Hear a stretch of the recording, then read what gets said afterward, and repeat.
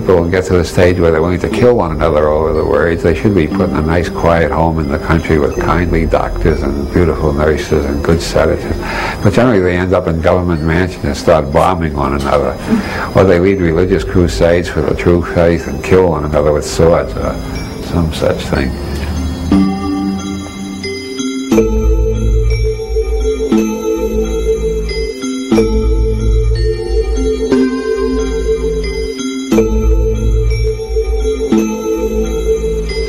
I think Pope Bob might have a consistent message in his work. Does he have a consistent message? Maybe. Maybe that's the message. Nothing is truly consistent. There are no absolute yeses or absolute nos. There are mm, probabilities and strong maybes and weak maybes. But uh, maybe if we all said maybe more often, the world might be a saner place. Uh, Pope Bob has certainly uh, been able to um, weave a certain magical spell using nothing but logic. And what is logic, you ask? Why, nothing but magic. As Ezra Pound writes in one of the latter cantos, the water bugs mittens show on the bright rock below him. The interaction. You don't have the water bug's mittens on the bright rock without the water bug, the rock, and the sun to cast a shadow. And of course you need a planet that will produce a water bug and a rock, and you need human eyes to see it all. That's Tao De, interacting processing. One of the introductory koans in Zen Buddhism. Who is the great magician who makes the grass green? Hope the master who makes the grass green, who creates every reality we experience. The word yoga means union. Uh, yoga comes from the same root as the English yoke, two things hitched together. And you need a human brain. Dogs see grass differently. After all, you need a human brain and you need the grass hitched together to make the yoga, which we call the greenness of the grass. Now, everybody thinks it's very hard to be a mystic. You got to go through a hell of a lot of effort to realize your union with everything. But actually, you're experiencing your union with everything all the time. Otherwise, you wouldn't be experiencing anything. you make the grass green. You make your highs and you make your lows. But you don't do it alone. You're making it out of your union with the universe. And so everything is a coincidence of contraries. It's a coincidence of you being there and the universe being there. And everything is one at the same time because there's no green without the grass and there's no green without you. So the greenness is a transaction that ties you and the grass together. There's an infinite expanse of signals flooding into our nervous system and being processed by a higher neural centers in the brain. We're all organizing and orchestrating it according to our own particular life history, our genetic background, our early imprints, our conditioning, our learning, and any re-imprinting techniques we may have learned since then. So we're all living in different worlds. It's astonishing that we can communicate at all. But you are the co-creator the sights you see, the sounds you hear, and your general impression of the universe. Our experience is generated by us. We're not generating it out of nothing. We're- We are generating it. We are creating the reality tunnel we're experiencing from moment to moment. So there's a total unity between you and the universe, whether you're aware of it or not. The universe you live in is your creation. But you're not doing it consciously.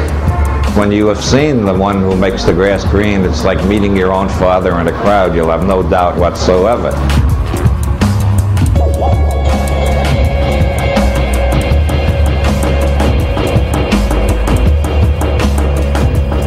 Nasruddin went galloping through Baghdad one day on his donkey. He went up every street and into every alley and across every plaza. He galloping all over every place he go, and an unending race and hunt and search. Everybody got curious. Everybody come out of their houses and they were all yelling, Nasruddin, Nasruddin, what are you looking for? And he yelled, like I lost my donkey and I'm looking for it. See, the, uh, the donkey represents what everybody is looking for who enters a mystical school. It's the answer to all the riddles of the universe. And you hunt for it east, west, north, south, up, down, everywhere you can imagine. All the time it's carrying you around.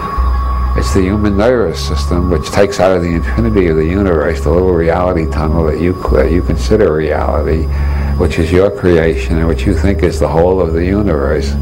Unless you've been through a Sufi school or studied general semantics or did a lot of Zen meditation or dropped LSD once or twice.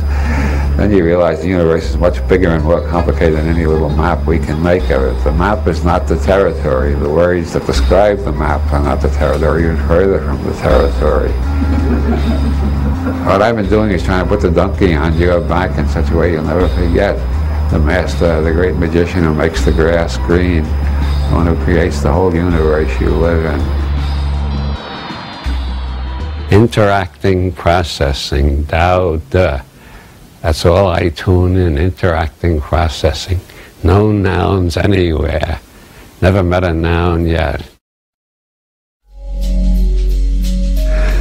I, I, I often thought of myself in terms of that old Chinese proverb, the wise are, the wise become Confucian in good times, Buddhist in bad times, and Taoist in old age. I always had a lot more sympathy for that, those three religions in quotes Uh, the Trinity of the Occidental ones like Judaism, Christianity, and Islam, all of which seem to me fanatical, intolerant, violence-prone. This whole Judeo-Christian monotheistic trip has been the worst nightmare this planet has ever endured. They, they just never stop killing one another. Meanwhile, the Confucians, the Taoists, and the Buddhists, each in their own way, have tried to create a peaceful and amicable society. I tried to create a peaceful and amicable society. And what I like in Buddhism is the basic idea of forgiveness because nobody realizes how wonderful it is until they begin to develop some talent at actually doing it. Because the more you forgive, the less burdens you got to carry around with you. When you reach the point where you can forgive everybody, you're almost entirely free of burdens. What's important to me at this point in my life? Making really sure that I have forgiven all anybody who's ever hurt me or seemed to be an enemy. Or uh, making sure I'm, I have nothing but forgiveness for everything. Yeah, I, I think uh, I think it's a very liberating experience to realize how little you really know and how much of the time you're just guessing one thing, it makes forgiveness easier. And believe me, life without forgiveness ain't worth living. Also, it keeps you from acting like too much of a damn fool if you're not really sure. People who are really sure all act like damn fools at least half of the time. Maybe more than that. I haven't, I haven't really studied the matter that closely. Have, I'll have to think some more about that. How often does being sure about everything make you act like a damn fool? Probably about 90% of the time, and that's what and that's what's wrong with the planet. I am not going to commit a federal crime. You I see a federal crime committed? Yes. This is a pain pill provided by the Women's Alliance for Medical Marijuana It keeps my legs from hurting me too much.